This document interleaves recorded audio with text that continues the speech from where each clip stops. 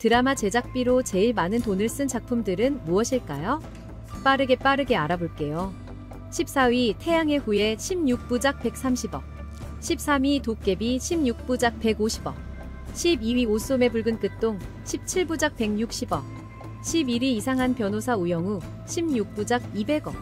12위 아람브라 궁 전의 추억 16부작 220억.